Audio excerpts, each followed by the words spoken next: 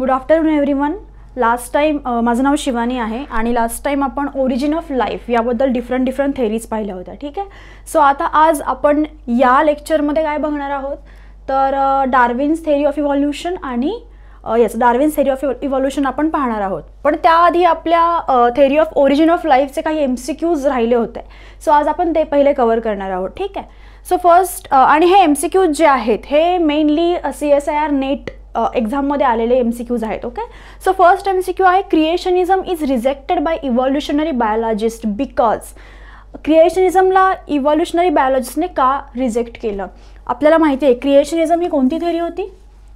ही theory mainly काय होती? तर सहा दिवसांमध्ये ह्युमन बिंग्स प्लांट्स ॲनिमल्स हे या पृथ्वी तलावरती आले राईट इथे कोणतंही ॲडॅप्टेशन झालेलं नाही आहे काही नाही डिरेक्टली सहा दिवसांमध्ये लोक आले. इव्हॉल्युशन याच्यामध्ये बिलकुलही इन्वॉल्व्ह झालेलं नाही आहे राईट सो याचं फर्स्ट आहे it offers no explanation about the इथे ॲक्च्युली ॲडॅप्टेशन आहे okay adaptation second option is it suggest that all species descendant from a common ancestor असं कोणतंही स्टेटमेंट या थेरीने केलेलं नव्हतं right next theologians have not settled on a date for the origin of life on earth असंही statement या थेरीमध्ये कुठेही आलेलं नव्हतं right supernatural events have not not been shown to be very common पण आपण या थेरीमध्ये हेच शिकलो आहे की सुपर नॅचरल इव्हेंट किंवा गॉडने या पृथ्वीचा पृथ्वीवरती लोकांना आणलेलं आहे right so super natural events या थेरीमध्ये इन्वॉल्व आहेत.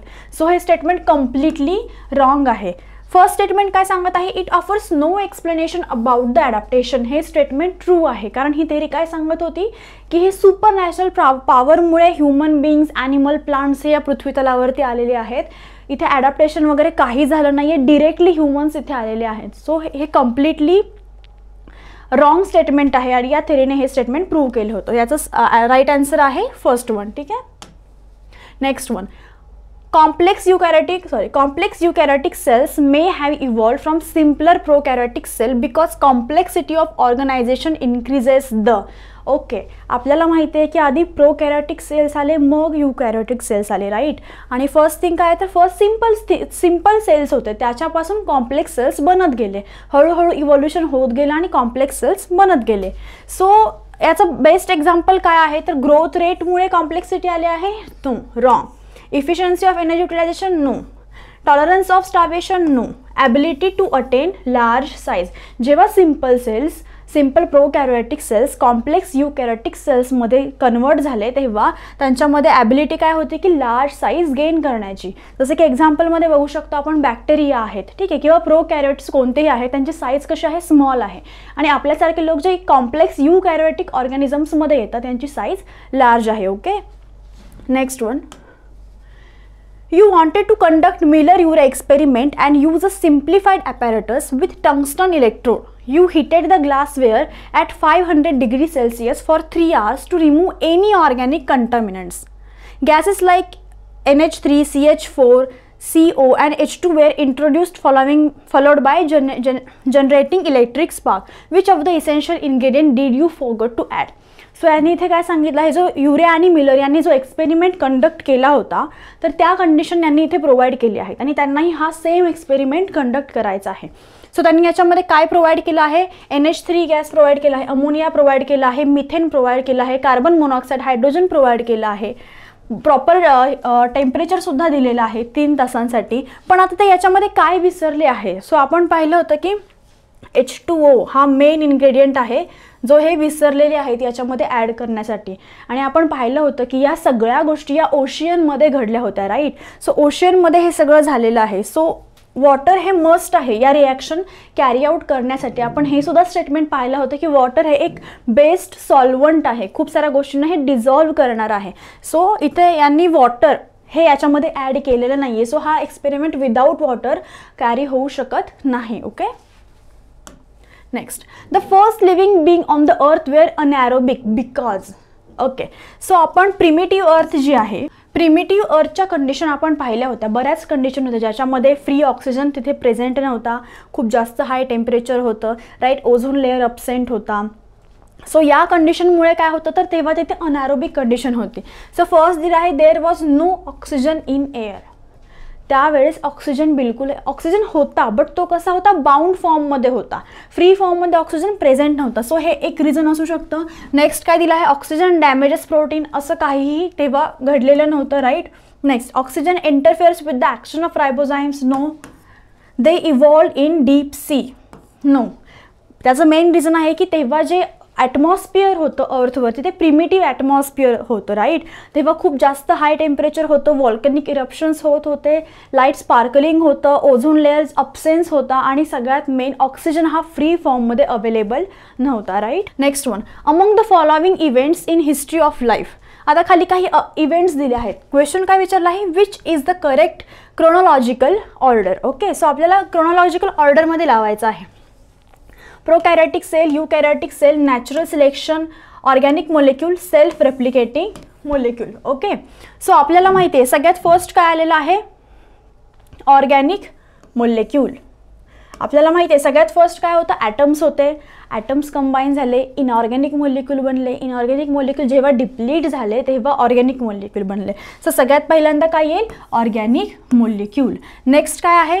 त्याच्यानंतर काय झालं हे ऑर्गॅनिक मोलिक्युल जे आहेत हे ॲग्रिगेट होत गेले. त्यांच्यामध त्यांच्यामध्ये सेल्फ रेप्लिकेटिंग ॲबिलिटी आली राईट त्यालाच तुम्ही कोअसर्वेट्स बोलला होता. आठवत आहे सो याच्यानंतर काय असेल? ई काय आहे? सेल्फ रेप्लिकेटिंग मोलेक्यूल त्याच्यानंतर काय असणार आहे? या सेल्फ रेप्लिकेटिंग मोलेक्यूलचा किंवा या ज्या लिव्हिंग सेल्स होत्या फर्स्ट त्यांचं काय झालेलं आहे?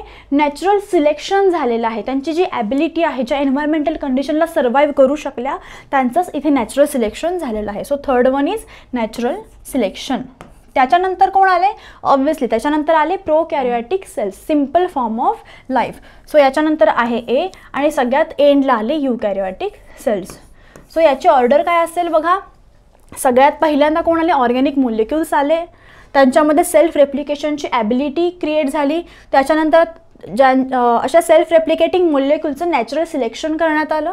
त्यानंतर प्रोकॅरोटिक सेल्स आले आणि त्यानंतर युकॅरोटिक सेल्स आले ओके नेक्स्ट आहे the theory of extra terrestrial origin of life was proposed as okay so याचे आपण तीन वर्ड्स पाहिले होते याला. ठीक आहे? सो यालाच तुम्ही काय बोलता? Panspermia of seed right extra टे टेरेस्ट्रियल थेरी आपण पाहिलं होतं की सायंटिस्टचं काय मत होतं की जे ओरिजिन ऑफ लाईफ आहे ह्याच्या ज्या सीड्स आहेत या कोणत्या तरी यु दुसऱ्या वर्ल्डमधून आल्या आहेत किंवा युनिवर्समधून आल्या आहेत ज्या ट्रॅव्हल स्पेसमधून ट्रॅव्हल करून इथे सीड्स आल्या आणि तिथून लिव्हिंग थिंग्सचा जन्म झाला. सो आपण यालाच काय बोललो तो एक्स्ट्रा ते टेरेस्ट्रियल थेरीलाच पानस्पर्मिया थेरी ठीक आहे? पान्सपर्मी ऑफ सीड्स हे आपण पाहिलेलं आहे. नेक्स्ट स्पॉन्टेनियस जनरेशन तर याच्यामध्ये येणार नाही right because yes special special क्रिएशनही याच्यामध्ये येणार नाही. स्पॉन्टेनियस जनरेशन म्हणजे अबायोटिक थेरी होती राईट ती याच्यामध्ये नाही येणार. स्पेशल क्रिएशन म्हणजे गॉड थ्रू ही ही अर्थ क्रिएट झाली आहे. हे याच्यामध्ये नाही येणार. कॅटॅस्ट्रॉफिझम म्हणजे पृथ्वी तलावरती डिफरंट डिफरंट आपत्ती येत गेल्या आणि आपत्तीमधून इतिहासाने लिव्हिंग बिंग्सचा नाश झाला पुन्हा लिव्हिंग बिंग्स जन्माला आले ही थेरी पण इथे बसत नाही आहे राईट सो याचा प्रॉपर आन्सर आहे panspermia theory next cosmozoic theory of the origin of life was proposed by okay cosmozoic theory ही कोणी लुईस पाश्चर नाही. यांनी ही थेरी प्रपोज केली नाही यांनी बायोजेनेसिसची थेरी प्रपोज केली होती राईट सो ही येणार नाही. अल Anaximander no wrong Charles Darwin नाही याचं राईट आन्सर आहे रिचर. रिचर यांनी ही थेरी प्रपोज केलेली आहे okay next theory of origin of life was proposed by okay he G theory of origin of life आहे ही कोणी प्रपोज केली? आता इथे खूप लोक लुईस पाश्चर हे करतील ॲन्सर पिक तर नाही. लुईस पाश्चर यांनी थेरी ऑफ लाई ओरिजिन ऑफ लाईफ नाही. ओपॅरिन आणि हाल्डने यांनी ही थेरी केली होती. आपण पाहिलं होतं ते को वेट्स वगैरे फॉर्म होतात. त्याच्यापासून प्रोकॅरोट्सचा जन्म झाला. सो ओरिजिन ऑफ लाईफ ही ओपॅरिन यांनी थेरी पुटफोर्थ केलेली आहे. ठीक आहे? नेक्स्ट आहे Miller propose the origin of life by okay आता याच्यामध्ये जी ओरिजिन ऑफ लाईफ थेरी आहे याच्यामध्ये आपण दोन पार्ट पाहिले होते राईट फर्स्ट आहे बा chemical evolution first one was chemical evolution. Second one was biological evolution. So आपल्याला माहिती आहे केमिकल इव्हॉल्युशन कोणी दिलं होतं? युरे अँड बिलर यांनी ठीक आहे? युरे अँड मिलर यांनी. आणि बायोलॉजिकल इव्हॉल्युशन दिलं होतं ओपॅरिन अँड हल्डनने ओके सो येस सो इथे आपल्याला विचारलं आहे मिलर यांच्याबद्दल विचारलं आहे. सो इथे आन्सर काय येईल? केमिकल इव्हॉल्युशन केमिकल इव्हॉल्युशन कोणी दिलं होतं? युरे अँड मिलर यांनी. आणि बायोलॉजिकल इव्हॉल्युशन ओपॅरिन अँड हार्डने यांनी. सो इथे राईट आन्सर आहे केमिकल सिंथेसिस ओके सो हे काही आपला लास्ट जो चॅप्टर आपण कंप्लीट केला त्याचा एम सी क्यूज होते. नेक्स्ट आपला चॅप्टर आहे थेरी ऑफ इव्हॉल्युशन ओके